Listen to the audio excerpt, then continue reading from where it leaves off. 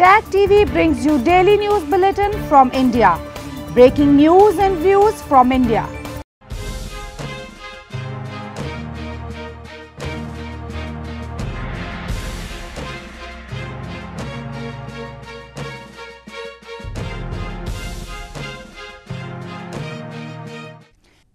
Good evening. Welcome to South Asia Newsline. I'm Uzma Jafri. Here are the top stories we are tracking for you on Friday, the 6th of May. 200 terrorists ready to be launched into Jammu and Kashmir from across border, says Indian Army official. Pakistan government to probe former PM Imran Khan's claims of foreign conspiracy in his ouster. And Sri Lankans go on strike, take to the streets to protest government. For all the details. Senior Indian Army official Lieutenant General Upendra Dwivedi on Friday said that there are 200 terrorists staged across the border ready to be launched into Jammu and Kashmir territory. His statement came on the day Indian security forces neutralized Ashraf Maulvi, a top commander of Pakistan-based Hizbul Mujahideen outfit, in an encounter in Pahalgam area of Jammu and Kashmir. Lieutenant General Upendra Dwivedi, the commander of the Indian Army's Northern Command on Friday said that there are 200 terrorists staged across the border ready to be launched into India's Jammu and Kashmir territory. Speaking to reporters, the official blamed that the complicity of Pakistan Army and its agencies cannot be denied as there are approximately 6 major terrorist camps and 29 minor ones near the border. His remarks came on a day Ashraf Maulvi, a top commander of Pakistan-based Hizbul Mujahideen outfit was neutralized along with two other terrorists in Pahalgam area of Jammu and Kashmir. Approximately, I'll say about 200 terrorists who are waiting across to get launched to this place. In the hinterland also, if I have to look at, I will say approximately that 40 to 50 local terrorists who may be there in the system and foreign terrorists, we cannot say for sure how many are there as of today. Earlier on Wednesday, India's Border Security Force detected a cross-border tunnel in Samba district of Jammu and Kashmir, suspected to be used for infiltration by terrorists.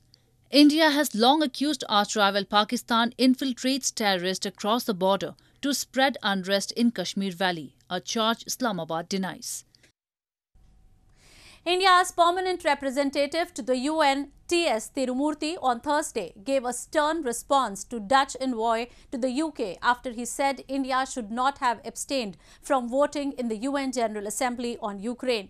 Tirumurti told the ambassador, kindly don't patronize us. India knows what to do. India's permanent representative to the UN, Ambassador T.S. Tirumurti, on Thursday told the ambassador of the Netherlands to the UK not to patronize India. New Delhi knows what to do after the Dutch envoy made a comment on Twitter that India should not have abstained from voting in the UN General Assembly on Ukraine. India has so far abstained on procedural votes and draft resolutions at all UN forums that deplored Russian aggression against Ukraine, while calling for an immediate end to violence. Western allies have repeatedly criticized India's neutral stand as it has refrained from explicitly condemning Russia, its Cold War ally, over the devastating conflict. Speaking at the UNSC briefing on Ukraine earlier on Thursday, Tirumurti said India remains on the side of peace and supports all efforts to alleviate the suffering of the people of Ukraine.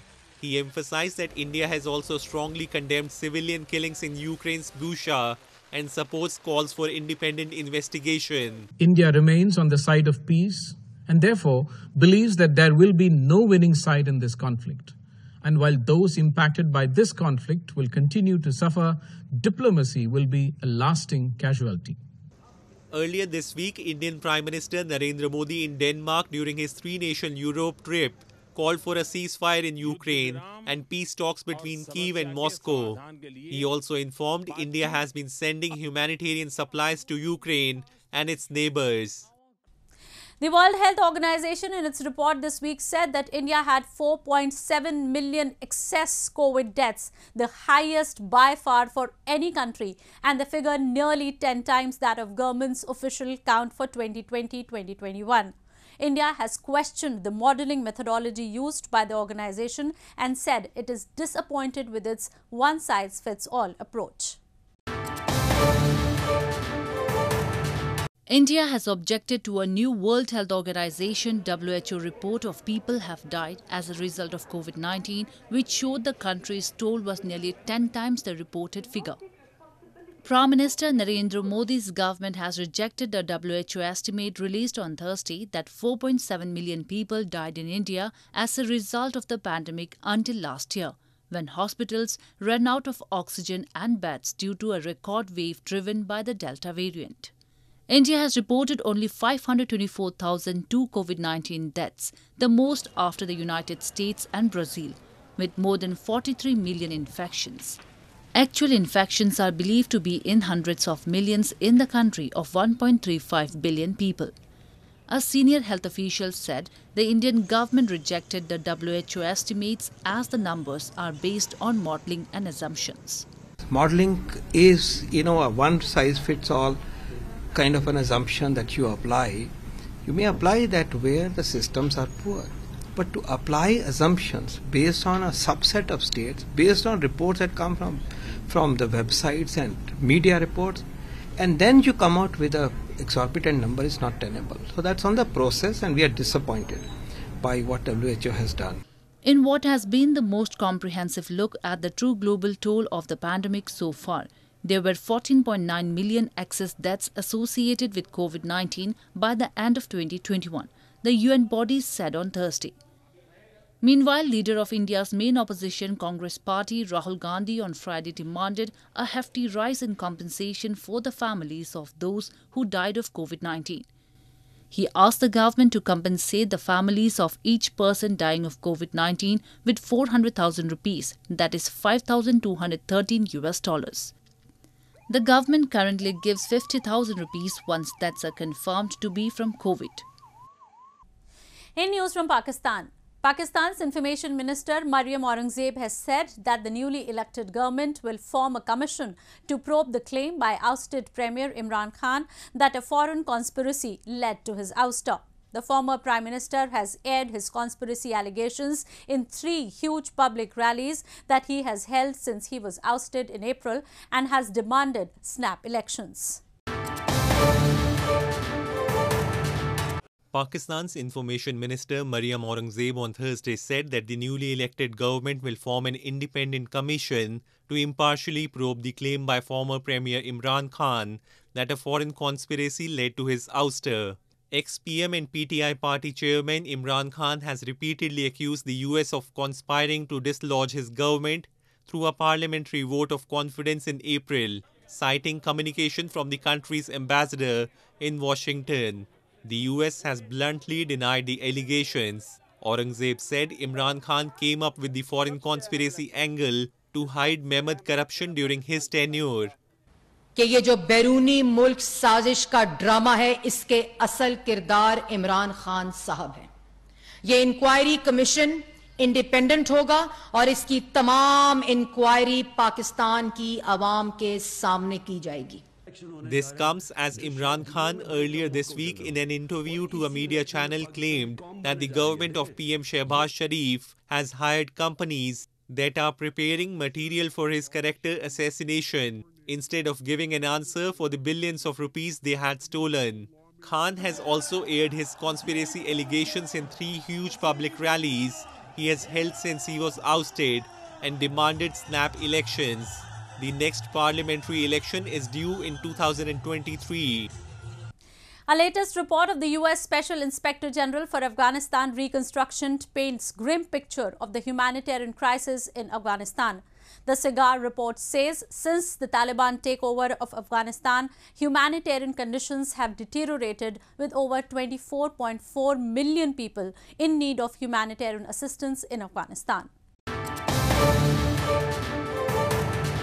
The Special Inspector General for Afghanistan Reconstruction, SIGAR, in its latest report said that since the takeover of the Islamic Emirate in August 2021, humanitarian conditions have deteriorated with over 24.4 million people in need of humanitarian assistance in Afghanistan, an increase from 18.4 million in 2021.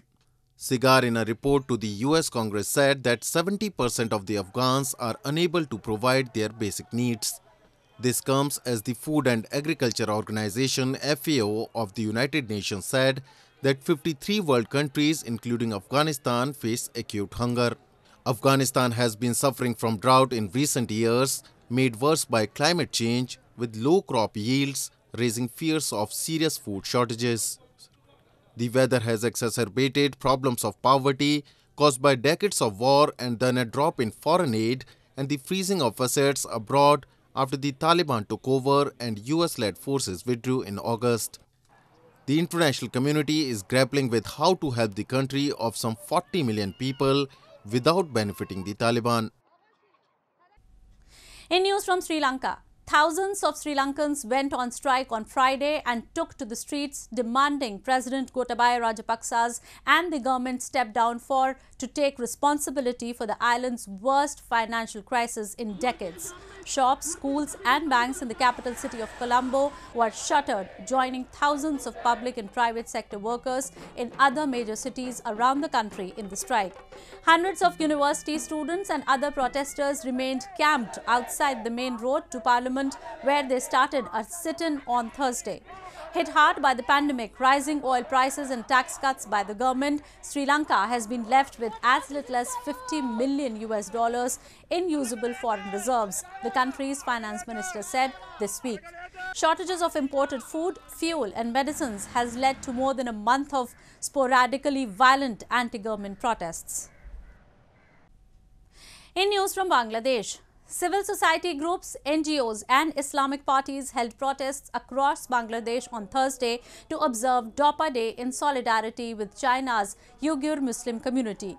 Several events including street plays, bicycle rallies and public meetings highlighted human rights violations against persecution of the Uyghur Muslim in China, particularly in the Xinjiang region. It is believed that around 2 million Uyghurs and other minorities have been placed under detention centers by the Chinese government. People in the internment camps have described being subjected to forced political indoctrination and torture and say they have been prohibited from practicing their religion or speaking their language. However, China denies such mistreatment and says the camps provide vocational training. India's northern Jammu and Kashmir is considered to be a treasure trove of arts and crafts. In a bid to promote Kashmiri art and uplift the artisan community, a craft safari tour was organized by handicrafts and handloom authorities this week. Have a look. A craft safari tour was organized by the Department of Handicrafts and Handloom to promote Kashmiri art and uplift the artisan community in India's northern Jammu and Kashmir territory this week. Officials, along with civil society members, visited many workshops where the artisan community were doing their daily craft work like wood carving, quill working, chain stitches, and embroidery units. Grass root level पे जो artisans हैं اور جو بڑا کام کرتے ہیں، آپ نے بھی دیکھا ہوگا۔ تو ان کے پاس جانا، ان کو اسے اپریسیشن ملتا ہے۔ ان کو بھی لگتا ہے کہ کوئی ہے جو ہمارے کام کو دیکھنے آتا ہے، کیونکہ ہم سورس پہ جاتے ہیں۔ تو اس سے ان کو بڑا اپریسیشن ملتا ہے، پروتساہن ملتا ہے۔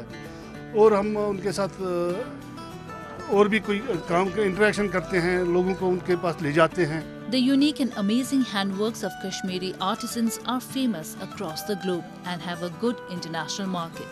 The artisan community earlier faced a lot of hardships due to the security situation and disturbing atmosphere arising from across the border. But with improved security situation and special attention from the authorities like organizing craft safari tour that boost traditional art and handlooms, artisans are happy. शुरू से चाहता था کہ یہ craft کے لیے ایسا کچھ ہو۔ انفارچونیٹلی حالات کی وجہ سے کبھی ایسا نہیں ہو پایا لیکن آج ہی ہو رہا ہے۔ میں ویلکم کرتا ہوں اس چیز کو کیونکہ یہ ضروری ہے کہ آرجن کی ایک پہچان ہو چکی ہے۔ ہینڈی کرافٹ کو بہت کام کر رہے ہیں خصوصاً Jammu and Kashmir is consider to be a treasure trove of arts and crafts Recently, Srinagar, the summer capital of Jammu Kashmir, also made entry into UNESCO's network of creative cities.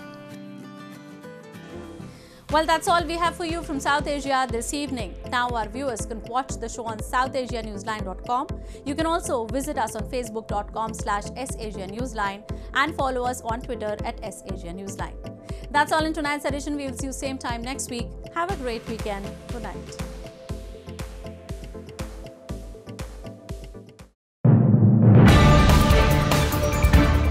Tag TV brings you daily news bulletin from India. Breaking news and views from India.